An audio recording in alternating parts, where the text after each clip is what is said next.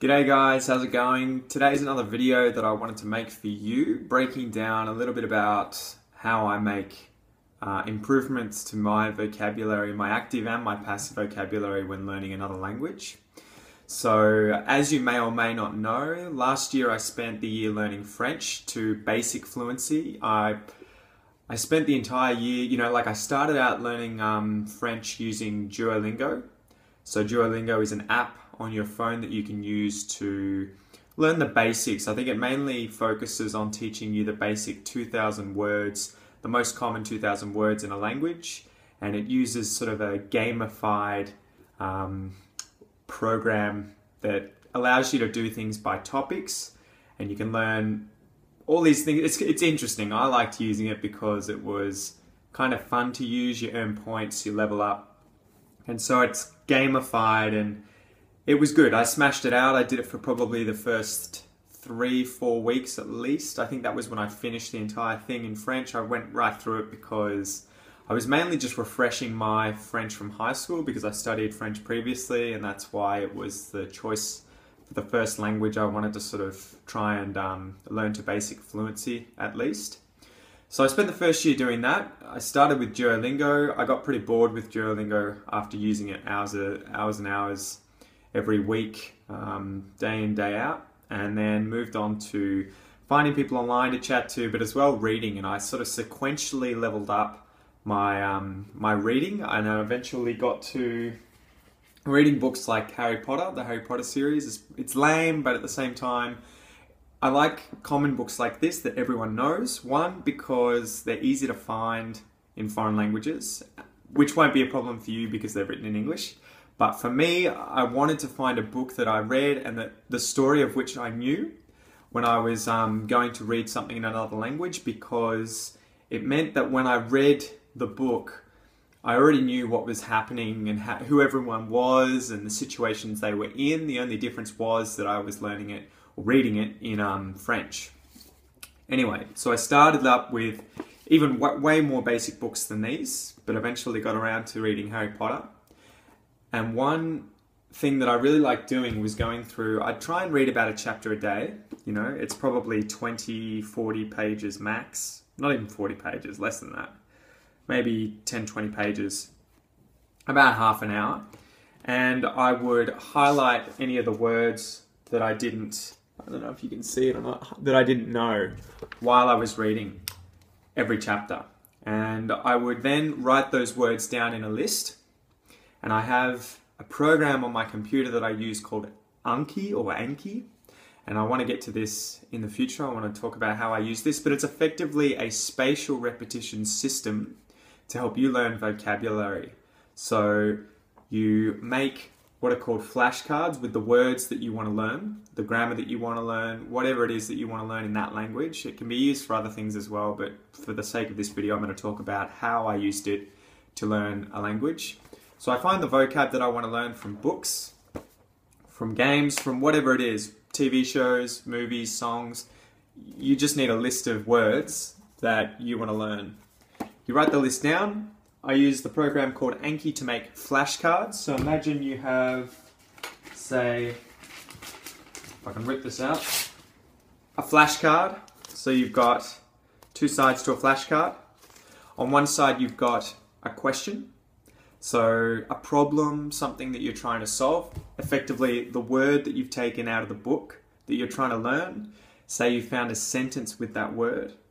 You use the sentence on the flashcard but it's missing that word. So you have to fill in the gap. You have to fill in the blank. You've got to be like, what was that?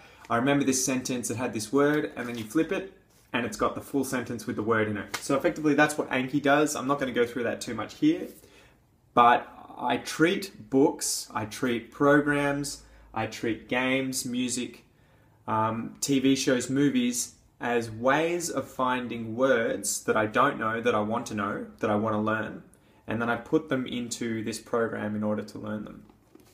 Another way that you can use the words that you find in these books that you want to practice is to go through once you've read the chapter and you found the words that you don't know.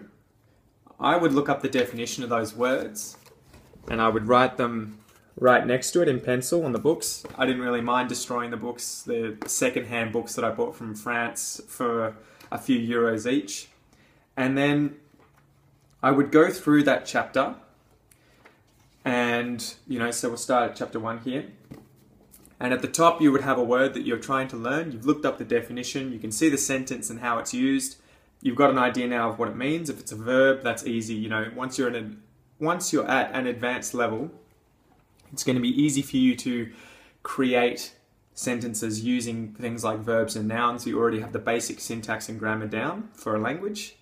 So what I would do as an activity once a night would be once I've finished the chapter, I've found the words, I've defined the words, I would actually go through and use every single one of these words in a sentence that I had to make up on the spot. So imagine the first word here was the word car, for example, car. I would sit here and say, okay, I see car's the first word. I want to drive a car. I can see a car. Cars are big, cars can be small. So I would just, for 10, 20 seconds, I would try and use that word as many times as I could in sentences that I was making off the top of my head, just thinking of on the spot. And then I would go to the next one. And this would take, you know, it could take a few minutes, five minutes, 10 minutes, but I think this is one of those really important things to note that I wanted to make this video about and, and for. When you want to learn new vocabulary, you have to firstly recognize that you don't know it. Secondly, look up the definition, write that next to the word, whatever it is, understand, okay, this is what that word means. And then thirdly, you have to be able to use it yourself. I think that is one of the most important things that when you recognize a word, you work out what it is, what it means.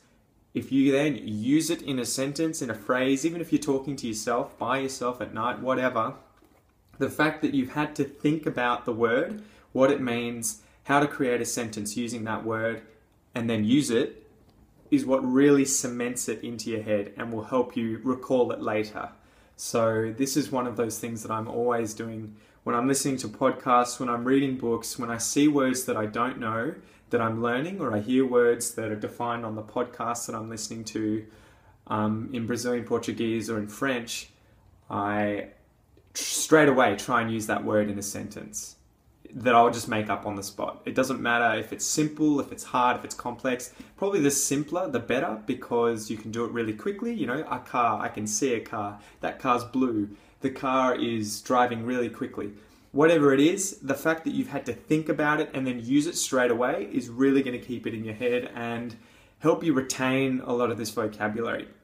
So anyway, that was the main thing for today's video. I wanted to talk about how to use books and other sources of, of um, vocabulary that you're trying to learn. So pull the words out, recognize you don't know them, look them up, and then actively try and use them. And this is what people do in their native languages as well.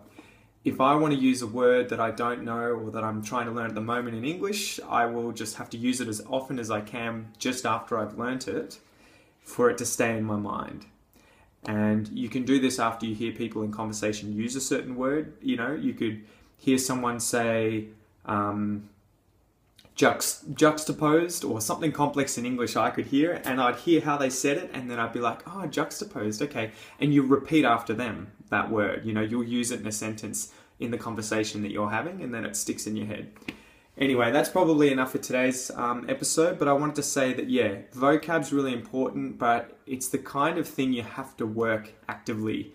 You can't learn a lot of vocab um, passively just from sitting there watching TV or reading books if you don't go out of your way to look up the words and understand what they actually mean. So that that comprehension, that first step of understanding what that word is is really important and it'll speed it up. If you look up that word straight away, it's going to speed up how quickly you understand the word and can use it yourself. Whereas if you just watch TV without subtitles and even though you hear all the words, you it can be too quick for you to actually work out what they are, even if you've heard them before, you'll just skip over it. So that was the first step looking up these words, understanding what they mean, and actively working it, actively having to use them in sentences.